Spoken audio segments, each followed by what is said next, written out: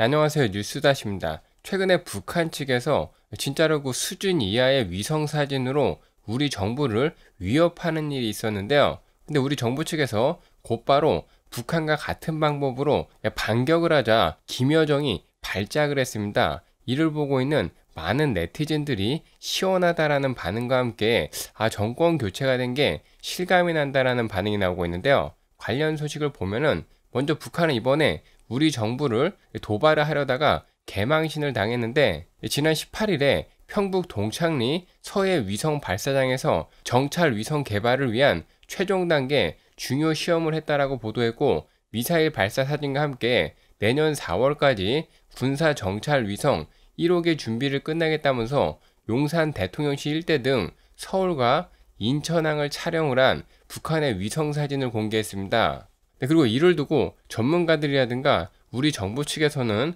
북한이 우리 정부를 도발을 하고 경고한 것으로 해석을 하고 있는데 미사일 발사와 함께 대통령 집무실 부근에 사진을 공개했다는 것은 언제든지 대통령 집무실을 북한이 타격을 할 수 있다는 메시지를 담은 것이고 또한 자신들의 정찰 위성 기술이 이렇게까지 많이 발전했다라는 것을 과시한 것입니다. 하지만 북한의 예상과는 다르게 우리 측의 반응은 좀 어이가 없다라는 반응인데 전문가들은 북한의 그 정찰 위성 사진에 대해서 조악하다라고 비판을 쏟아냈고 아니 무슨 놈의 군사 정찰 위성이 구글 어스보다도 화질이 구리냐라는 이런 비아냥이 쏟아졌으며 실제로 북한에서 공개한 사진을 보면은 이게 뭐 다 이렇게 뭉개져 있어가지고 군사 위성은커녕 지금 말이 나오고 있는 대로 뭐 구글 어스라든가 우리 국민들이 손쉽게 포털을 통해서 지도를 볼 때 쓰는 것보다도 훨씬 더 구린 퀄리티인데요. 아무튼 뭐 북한 측에서는 도발하기 위해서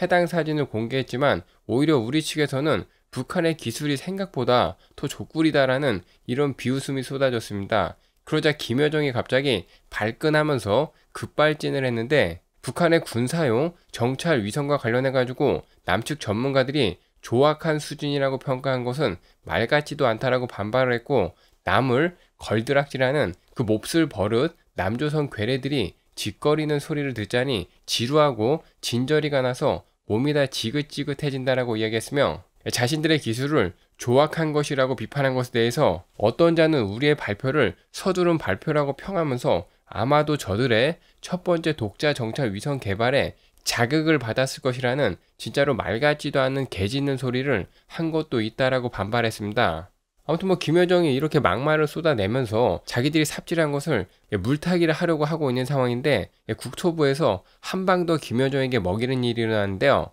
어저께 국토부는 국토 위성 1호가 촬영을 한 위성 사진전을 개최하겠다라고 밝혔고 국토부는 사진전에 공개될 사진 가운데서 하나를 먼저 공개했는데 해당 사진은 서울 광화문 광장과 북한 평양 김일성 광장 일대를 찍은 위성 사진을 공개했고 이번에 공개된 사진을 보면은 김일성 광장이 화강암 재질로 질서 정연하게 포장이 된 모습까지도 확인이 될 정도로 명확한 화질을 자랑을 하고 있으며 또 광장을 둘러싸고 있는 인민대학스탄과 조선중앙역사박물관, 조선미술박물관, 평양제일백화점 등의 건물들의 모습도 생생하게 포착이 된 이런 사진을 공개했습니다. 뭐 당연한 얘기지만은 북한에서 공개한 사진과는 비교조차도 할 수 없는 수준이었고 이에 대해서 국토부는 500kg급 차세대 중형 위성인 국토위성 1호는 흑백 0.5m, 컬러 2m의 해상도를 구현을 할 수 있어가지고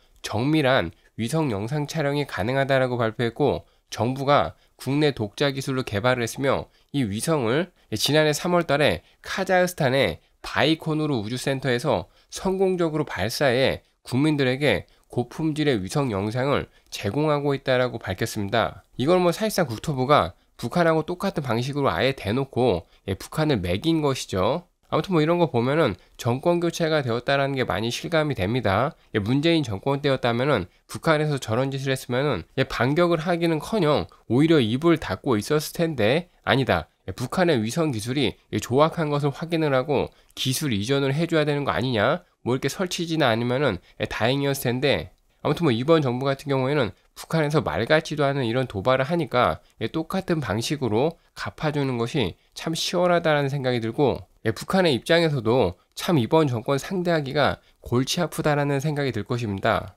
자기네들이 도발을 걸면은 화가 나가지고 뭐 버럭하면서 대응을 하기보다는 자기들이 도발을 한 거 딱 그거하고 똑같이 이런 식으로 되돌려 주니까 자신들이 도발을 하면 할수록 자기들 꼴만 우스워지는 것이고 북한 같은 경우에는 지난 5년 동안 문재인 정권에게 지극정성으로 대접을 받다가 갑자기 이런 개밥그릇 취급을 받으니까 좀 당황스럽지 않을까 싶은데요. 아무튼 뭐 네티즌들 역시도 이번에 국토부의 반격에 대해서 시원하고 재미있다라는 반응이 대부분이며 대부분의 네티즌들은 이번에 국토부의 반격에 대해서 종북 대깨문들이 부들대고 있을 것 같다라는 의견을 보이고 있고 양산 대저택에서 문재인이 부들대고 있는 거 아니냐 뭐 이런 의견도 있으며 그 외에도 많은 분들이 진짜로 고소하다라든가 정권 교체가 된 것이 실감이 난다 등의 이런 반응들을 보이고 있습니다. 네, 이번 소식은 여기까지 하겠습니다.